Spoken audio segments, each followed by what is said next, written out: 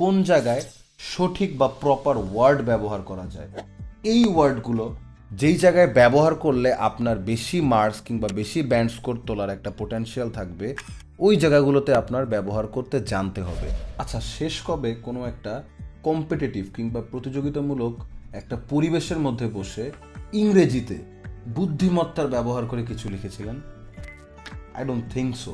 Not very soon, right? Not very, not in the near past, right? But maybe you will have to do something like that in the very near future.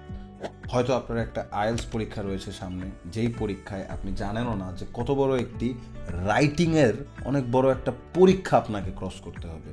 এই পরীক্ষাটার একটা অন্যতম সমস্যা যেটা দেখে স্টুডেন্টসরা যাদের ইংরেজিতে লেখার হাতটা খুব একটা ভালো না, তা হচ্ছে গ্রামার এবং ভোক্যাবুলারি গ্রামারে যে যে ধরাগুলো খায়, তার মধ্যে অন্যতম হচ্ছে কীভাবে আমি আমার সেন্টেন্সগুলোকে কমপ্লেক্স সেন্টেন্স হিসেবে লিখব? আর ভোক্যাবুলারির ক্ষেত্রে যে মেইন সমস্যা, তা হচ্ছে কোন জায়গায় সঠিক বা প্রপার ওয়ার্ড ব্যবহার করা যায়। এই ওয়ার্ডগুলো যেই জায়গায় ব্যবহার করলে আপনার বেশি মার্কস কিংবা বেশি ব্যান্ড স্কোর তোলার একটা পোটেনশিয়াল থাকবে, ওই জায়গাগুলোতে আপনার ব্যবহার করতে জানতে হবে।